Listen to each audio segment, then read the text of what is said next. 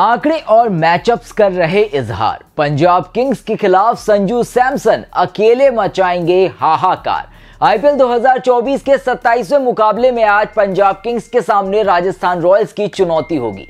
एक तरफ़ जहाँ पंजाब किंग्स ने पाँच में से तीन मैच हारे हैं और दो मैच जीते हैं और पॉइंट्स टेबल में आठवें स्थान पर हैं तो वहीं राजस्थान रॉयल्स ने आईपीएल 2024 में अपने पाँच में से चार मैच जीते हैं और वो पॉइंट्स टेबल में नंबर वन पर काबिज है। राजस्थान रॉयल्स के कप्तान संजू सैमसन भी आईपीएल 2024 में अपनी टीम की तरह शानदार फॉर्म में चल रहे हैं। अब ऐसे में राजस्थान रॉयल्स को उनसे पंजाब किंग्स के खिलाफ एक और अच्छी और बड़ी पारी की उम्मीद होगी। ऐसे में आइए जानते हैं, पंजाब किंग्स के खिलाफ संजू सैमसन का प्रदर्शन अब तक कैसा रहा है। संजू सैमसन ने पंजाब किंग्स के खिलाफ 21 आईपीएल मैचों की 21 पारियों में उनतालीस की औसत और लगभग 144 की स्ट्राइक रेट से 702 रन बनाए हैं। इस दौरान उन्होंने एक शतक और दो अर्धशतक भी लगाए हैं। और सिर्फ़ इतना ही नहीं, संजू सैमसन पंजाब किंग्स के खिलाफ अभी क्रिकेट खेल रहे बल्लेबाजों में सबसे ज़्यादा रन बनाने वाले बल्लेबाजों में छठे नंबर पर हैं। अब अगर संजू सैमसन का पंजाब किंग्स के अभी प्रमुख गेंदबाजों के खिलाफ प्रदर्शन हम देखें, सबसे पहले देखते हैं संजू सैमसन वर्सेस अर्शदीप सिंह।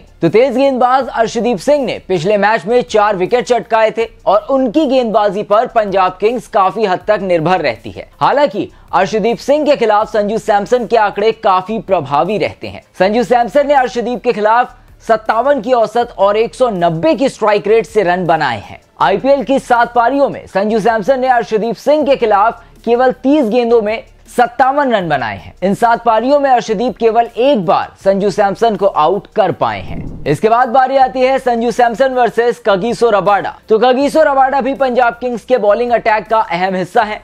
कगिसो अबाडा के खिलाफ संजू सैमसन ने आईपीएल की तीन पारियों में लगभग एक सौ तिरपन की स्ट्राइक रेट और 26 की औसत से 26 रन बनाए हैं। 17 गेंदों में एक बार कगिसोर अबाडा ने संजू सैमसन का विकेट भी निकाला है। कगिसोर अबाडा के खिलाफ बनाए अपने 26 में से 20 रन संजू सैमसन ने सिर्फ़ चौके के ज़रिए बनाए हैं। और आखिर में आइए नज़र डालते हैं संजू सैमसन वर्सेस राहुल चहर। तो पंजाब किंग्स के पास राहुल चहर स्पिन विभाग में मुख्य स्पिनर की भूमिका निभाते हैं। हालाँकि, राहुल चहर के लिए आईपीएल 2024 अब तक काफ़ी खराब रहा है। संजू सैमसन के खिलाफ राहुल चहर पंजाब किंग्स के लिए तुरुप का इक्का साबित हो सकते हैं। राहुल चहर ने आईपीएल की सात पारियों में दो बार संजू सैमसन को आउट किया है। राहुल चहर के खिलाफ संजू सैमसन ने 36 गेंदों में छप्पन रन बनाए हैं।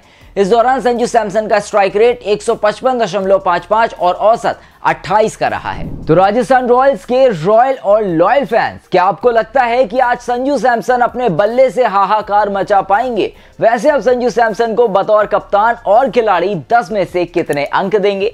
कमेंट में हमें ज़रूर बताएँ। हमारी इस रिपोर्ट में अभी के लिए बस इतना ही। इस वीडियो को देखने के लिए आपका बहुत बहुत शुक्रिया। क्रिकेट से जुड़ी अन्य जानकारियों के लिए देखते रहें। क्रिक इन्फॉर्मर अगर ये वीडियो आपको पसंद आया हो तो इसे लाइक और शेयर करें और क्रिकेट से जुड़ी अन्य जानकारियों के लिए हमारे चैनल को सब्सक्राइब करना ना भूलें।